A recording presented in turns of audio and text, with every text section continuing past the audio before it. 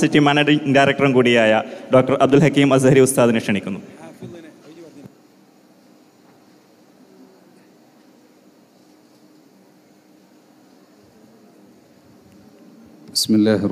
റഹീം വളരെ പരിമിതമായ സമയമായതുകൊണ്ട് ധാരാളം ഉലമാക്കൾ നമ്മുടെ വേദിയിൽ ഇരിക്കുന്നത് കൊണ്ടും ഈ സമയം കൂടുതൽ സംസാരിക്കാൻ വേണ്ടി ഉദ്ദേശിക്കുന്നില്ല.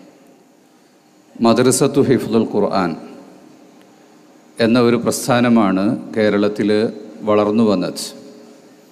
ആദ്യത്തെ സ്ഥാപനത്തിന് അറിയാതെ കോളേജ് എന്ന് വിളിച്ചു പോയതുകൊണ്ട് പിന്നെ എല്ലാവരും അങ്ങനെ തന്നെ വിളിക്കാൻ തുടങ്ങി. പതിനെട്ട് വയസ്സ് കഴിഞ്ഞ കുട്ടികൾക്ക് പഠിക്കുന്ന സ്ഥാപനത്തിനാണ് കോളേജ് എന്ന് പറയുക. അതുകൊണ്ട് മർക്കസിൽ അത് നേരത്തെ തന്നെ പേര് മാറ്റിയിട്ട് മർക്കസ് തഹ്ഫീദുൽ ഖുർആൻ ഹിഫ്ദുൽ ഖുർആൻ സെന്റർ എന്നാക്കി മാറ്റിയിട്ടുണ്ട്. നമുക്ക് ഹിഫ്ദുൽ ഖുർആൻ മദ്രസ എന്നോ സെന്റർ എന്നോ വിളിക്കാം. ഹിഫ്ദ് പഠനത്തിന് എന്തിനാണ് മദ്രസ വീട്ടിൽ തന്നെ ഇരുന്ന് പഠിച്ചാലും പോരെ എന്ന് ചിന്തിക്കാറുണ്ട്. ഓത്തു പഠിക്കുകയാണല്ലോ വേണ്ടത്. ബാക്കി സ്വയം ഇരുന്ന് പഠിക്കുകയാണ്. എങ്കിലും ആ പഠനത്തിനും ചില മെത്തഡോളജിയുണ്ട് ഉണ്ട്. ഓരോരുത്തരുടെയും ശ്വാസത്തിന്റെ ശ്വാസ അത് ഓ ആയത്ത് ഓതാനുള്ള ശ്വാസം പിടിക്കാനുള്ള കഴിവനുസരിച്ച് ഒരു വഖഫ് ചെയ്യുന്ന സ്ഥലങ്ങൾ. അതെല്ലാ കാലത്തും അവിടെ തന്നെയാണ് വഖഫ് ചെയ്യുക. അതുപോലെ ഓരോ പേജിന്റെ തുടക്കവും അവസാനവും അതൊക്കെ ഹിഫുദിൽ ഓർത്തിരിക്കുന്നതാണ് ഈജിപ്തിൽ ഇതിനെക്കുറിച്ചുള്ള ധാരാളം ഗവേഷണങ്ങൾ ഇപ്പോഴും നടന്നു വരികയാണ്. ഹിഫുദുൻ ലായുൻസ എന്ന് പറഞ്ഞ ഒരു മെത്തഡോളജി പേജുകൾ പതിനെട്ടാം പേജിൽ എത്ര എന്താണ് തുടങ്ങുന്നത്? ഇരുപതാം പേജിൽ എന്താണ് തുടങ്ങുന്നത് എന്ന് ചോദിച്ചാൽ പറയാൻ പറ്റുന്ന ഹിഫാദുകളെ നാം അതിന്റെ വീഡിയോ ഒക്കെ കാണാറുണ്ട്. അതുപോലെ പലതരത്തിൽ ഈ ഹിഫ്ല് സ്ഥിരമായി നിർത്താനുള്ള മെത്തഡോളജികളുണ്ട് ഇതെല്ലാം പഠിക്കുന്ന ഖുർആാനിന്റെ വിവിധ രൂപത്തിലുള്ള തഫ്സീറുകളും വ്യാഖ്യാനങ്ങളും അർത്ഥങ്ങളും എല്ലാം പഠിക്കുന്ന കോളേജാണ് ഇനി നമുക്ക് പ്രധാനമായും ആവശ്യമുള്ളത്. കേരളത്തിൽ അങ്ങനെയുള്ളൊരു കോളേജ് ഇല്ല. ഇൻഷാ അള്ളാ അങ്ങനെയുള്ളൊരു കോളേജ് ഉണ്ടാവുക എന്നുള്ളതാണ് ഈ ഖുർആൻ സേവനത്തിന് ഏറ്റവും കൂടുതൽ പദ്ധതികൾ ആവിഷ്കരിച്ചിട്ടുള്ള മർക്കസിന്റെ കീഴിൽ ഇനി നമുക്ക് ആവശ്യമായിട്ടുള്ളത്. സബഴിയായ ഖിറാഅത്തുകൾ പഠിക്കുന്നതിന് വേണ്ടി ഈജിപ്തിലെ പ്രത്യേക സ്ഥാപനങ്ങളിൽ നിന്ന് പഠനം പൂർത്തിയാക്കിയ സഖാഫിമാരുണ്ട്.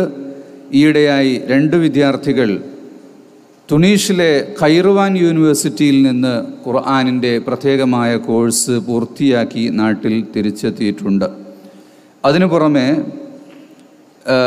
ഖുർആൻ സാധാരണക്കാർക്ക് പഠിക്കുന്നതിന് വേണ്ടിയുള്ള പല പദ്ധതികൾ. ഇന്ന് നമ്മുടെ പ്രസ്ഥാനത്തിനു കീഴിൽ റൗദത്തുൽ ഖുർആൻ സ്ത്രീകൾക്ക് വേണ്ടിയുള്ള ഒരു പ്രോഗ്രാം വിശുദ്ധ ഖുർആാനിന്റെ തിരഞ്ഞെടുക്കപ്പെട്ട സൂറത്തുകൾ അതിന്റെ അർത്ഥവും വ്യാഖ്യാനവും പാരായണവും എല്ലാം പഠിക്കുന്ന കോഴ്സ് എസ് വൈ എസിനു കീഴിൽ മൂന്നാം സെമസ്റ്ററിലേക്ക് കടന്നിരിക്കുകയാണ്.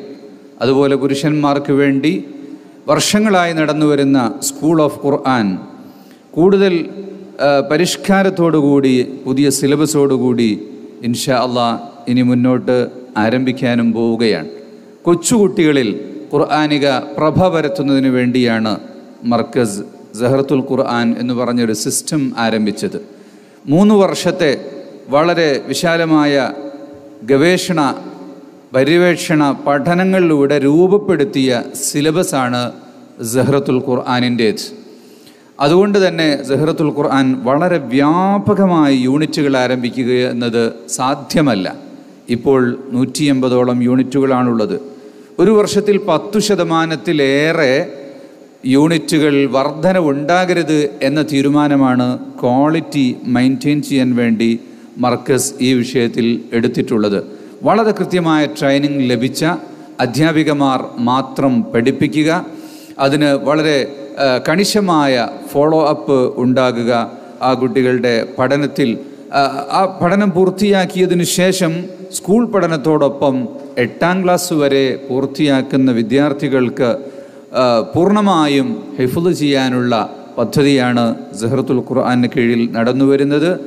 പ്രീ സ്കൂളായിട്ട് മൂന്ന് വർഷത്തെ പദ്ധതികൾ നൂറ്റി അമ്പത് സെന്ററുകളിൽ നടക്കുമ്പോൾ ഏതാനും സെന്ററുകളിൽ സെലക്റ്റഡ് ആയിട്ടുള്ള സ്കൂളുകളിൽ മാത്രമാണ് ഇപ്പോൾ അതിന്റെ ഹയർ എഡ്യൂക്കേഷൻ നടക്കുന്നത്. ആ കുട്ടികൾക്കുള്ള പഠനത്തോടൊപ്പം ഉമ്മമാർക്ക് ഖുർആൻ പാരായണവും ഖുർആാനിക ജ്ഞാനവും പഠിപ്പിക്കുന്ന പത്ത് ക്ലാസ്സുകൾ ഒരു വർഷത്തിൽ നൽകുകയും അതുപോലെ കുട്ടികളുടെ പിതാക്കന്മാർക്കും ഗ്രാൻഡ് പാരൻസിന് പോലുള്ള സംഗമങ്ങളിലൂടെ ഖുർആൻ എന്നത് ഒരു ആവേശമായി കേരളക്കരയിൽ മുഴുവനും പടർന്നു പിടിച്ചിരിക്കുകയാണ്.